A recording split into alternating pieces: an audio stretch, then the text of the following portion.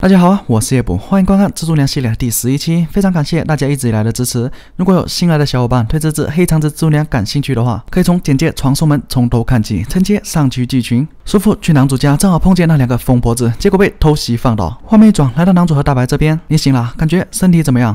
我还想问你呢，这里到底是哪里？在高速上哦。不，我想问的是，为什么我们会在车里？我记得我是吃完饭后就昏昏沉沉的睡过去了。到底发生了什么事？大白告诉男主，有值得信赖的线人传递给他一条紧急情报，唐泽西里他已经开始行动了。虽然之前我打算等你醒来之后再做决定，但事态变得非常紧急，十有八九他现在已经前往你的住处了，所以我们就得早他们一步行动。说白了，我们现在就是在逃亡中。男主感到不解，这都是啥跟啥啊？明明上一秒还很平常的在吃晚饭，下一秒就变成了大逃亡。大白让男主不用那么悲观，毕竟我们已经离开到了很远的地方了，也可以说是争取到了很多时间。有了这些时间准备，或许能够反将他们一军。男主回道：“悲伤个鬼哦，真的有必要逃吗？我们这边可是三个人哦，其中还有一个是怪物，然后对方就只有一个坐在轮椅上的弱女人。你到底在害怕什么？”大白严肃的回道：“首先，她可不是什么坐在轮椅上的弱女人，要是真的只有她一个人的话，确实会好对付许多。但很遗憾的告诉你，她那边。”有两名协助者，再加上他对怪物的弱点非常熟悉，若不在万全的准备下，我们大概会像猎物般被找出来，然后杀掉。所以说，现在我要将我知道的关于那个怪物的情报全部告诉你，为了能够齐心协力的击败那个疯女人。男主感叹道：“终于愿意将情报告诉我了吗？”话说回来，那孩子去哪了？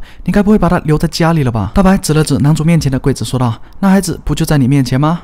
男主震惊的喊道：“你真当我是憨逼啊？明明之前看到的时候可不止这么点啊！”大白回道：“你似乎误以为这孩子有原地凭空消失的特殊能力，实际上他并不是从你眼前消失不见，他不过是每次都变得非常小，所以让你很难找到，能够随心所欲改变自己的大小，这就是那孩子的其中一项能力。很有趣，对吧？还有什么想问的吗？毕竟这场逃亡看起来会持续很长一段时间。”之后，男主询问了有关教授那件事的后续。大白回道：“在告诉你之前，我得先确认一下，小丽你并没有遇到过米原优子吧？就是那个被残忍杀害的。”高中生男主回到：“我和他彼此之间可没有什么联系。”大白让男主认真想想，任何与他接触有关的事情都可以。男主告诉大白，他和米原优子的学校特别近，确实有过几次在地铁站里擦肩而过。我跟他是否有接触，真的那么重要吗？大白回道：“确实非常重要。理论上来说，你和米原优子如果没有什么联系的话，那孩子根本不会接近你。至于我为什么这么肯定，那我们继续聊聊关于教授妻子的事吧。在教授的妻子变得奇怪的时候，怪物也从研究室里消失得无影无踪。教授像是发了疯似的寻找他的。宝贝蜘蛛房间、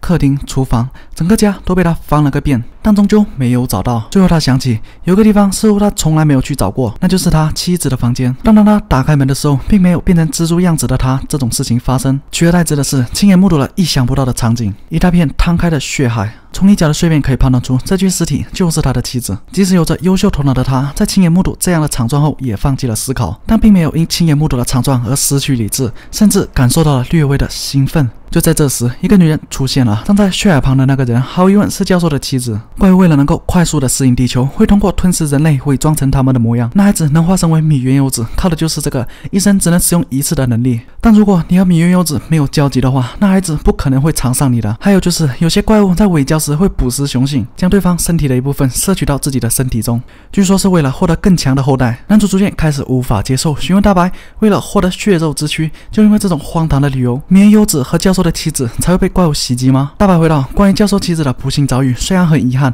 但米原优子是被人为安排遇上怪物的。”就在这时，男主的电话响了，屏幕显示来电的人是他的叔父，而电话那边传来的声音却是商城金子。